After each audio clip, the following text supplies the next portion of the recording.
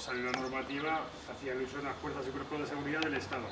dispositivo que hemos preparado para estos días de Semana Santa para todo el tema de la seguridad y poder seguir garantizando que la gente siga en sus viviendas y por lo tanto no haya salidas fuera de lo que tienen que ser las normas. ¿no? Vamos a hacer tres tipos de actuaciones. Hoy os estamos enseñando aquí cómo va a haber eh, drones operando en toda la parte del término municipal de Alcañiz. Van a estar operando no solo en la ciudad, sino también por el campo, porque eso es uno de nuestros objetivos, que la gente no salga al campo estos días, especialmente a los másicos. Así que a través de Carlos Piazuelo y sus drones va a establecer un sistema de vigilancia que va a estar incluso dentro de la ciudad. Hemos eh, tenido los permisos que los concede policía local y hemos estado ya informándonos para que los drones puedan volar dentro de Alcañiz, pero también, como digo, por todo el campo. Tenemos tres tipos de drones, uno que es una ala fija de alta autonomía, que es el que vamos a emplear para mapear todas las huertas y verificar que no haya gente haciendo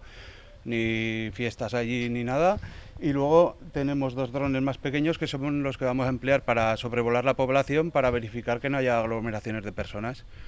Bueno, pues tal como ha comentado nuestro alcalde, eh, gracias a la colaboración de Carlos Piazuelo, eh, vamos a operar con drones, eh, sobrevolamos la ciudad, sobrevolaremos las zonas de, campo, de masicos, porque tenemos que evitar al máximo posible que la gente se desplace a, los masicos y a las segundas viviendas. igualmente, gracias a su colaboración y con con el permiso lógico que así lo dice la normativa de la Agencia Estatal aérea. Eh, vamos a supervisar los vuelos que realizará Carlos Piazuelo para, entre todos, poder, digamos, eh, controlar un poquito el tema y que la gente eh, sea consciente de la peligrosidad que, que supone esta pandemia. En segundo lugar, la Guardia Civil va a poner en funcionamiento el helicóptero en toda la comarca. En la zona de Alcañiz estará principalmente el viernes, pero va a estar también el jueves, viernes, sábado por toda la comarca del Bajo Aragón y por los nueve pueblos de la ruta para vigilar de nuevo pues que no haya salidas fuera de lo normal y que efectivamente la gente siga cumpliendo con sus normas.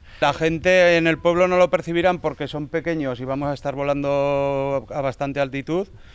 pero sí que es verdad que llevamos cámaras con zoom que vamos a poder ver lo que está haciendo la gente. La normativa prohíbe sobrevolar poblaciones, pero en caso de catástrofe, calamidad pública o desastre natural,